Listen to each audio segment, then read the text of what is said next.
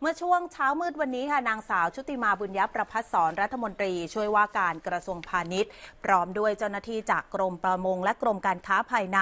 เดินทางไปที่ตลาดไทยตำบลท่าจีนอำเภอเมืองจังหวัดสมุทรสาคร ซึ่งเป็นตลาดขายส่งสินค้าทะเลที่ใหญ่ที่สุดในประเทศไทย เพื่อติดตามสถานการณ์สินค้าประมงนะคะว่า มีข่าวว่ามีการลักลอบนำเข้าสินค้าประมง ไม่ถูกกฎหมายจากประเทศเพื่อนบ้าน จากนั้นค่ะก็มีการหารือกับนายสมคิดจันทมรึก ผู้ว่าราชการจังหวัดสมุทรสาครและหน่วยงานที่เกี่ยวข้อง รวมทั้งตัวแทนชาวประมงและผู้ประกอบการแพปลา เกี่ยวกับมาตรการการตรวจสอบคุณภาพสินค้าประมง ชนิดสินค้าประมง การควบคุมปริมาณ ราคาและการตรวจสอบสารปนเปื้อนสินค้าประมงจากประเทศเพื่อนบ้าน ที่ส่งผลถึงตลาดและราคาในการจำหน่ายสินค้าประมงภายในประเทศ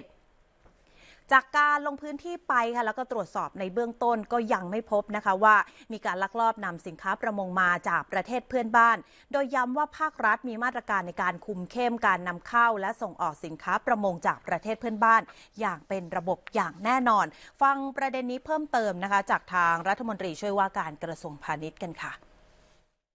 ณขณะนี้เนี่ยกรมประมงเนี่ยไปดูแลตรงจุดที่ของจะเข้านะฮะไม่ว่าจะเป็น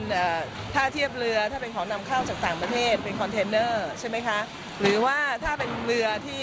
จับแล้วเอามาส่งเลยนะคะที่ไปไปเทียบเรือตรงนั้นเนี่ยก็มีคนดูแลอยู่นะคะ คือทุกจุดเนี่ยจะมี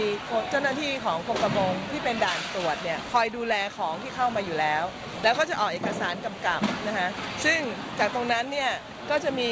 แพปลานะคะที่เป็นคนรับของมาเนี่ยเขาก็จะต้องเป็นคนตรวจสอบดูว่าของพวกนี้ที่เอามาแล้วเนี่ย เอาบรรทุกขึ้นรถไปนะคะเขาก็จะมีการตั้งแต่แรกที่เอาของมาสร้างน้ำหนักบรรทุกขึ้นรถปิดรถซีลล็อกกุญแจซีลแล้วของก็จะขนมาพอขนมาถึงตรงนี้เนี่ยก็จะมีคนมาเอาของออกใช่ไหมฮะก็จะมาตัดกุญแจดูวันระบบที่เขาวางเอาไว้เนี่ย ณขณะนี้มอยังไม่เห็นเลยว่าตรงไหนที่จะเกิดการลักลอบได้นะคะ ของถ้าลักลอบเข้ามาเนี่ยยิ่งเป็นสินค้าสดแบบนี้ถ้าเกิดไม่รีบขายมันก็คือเน่าเสีย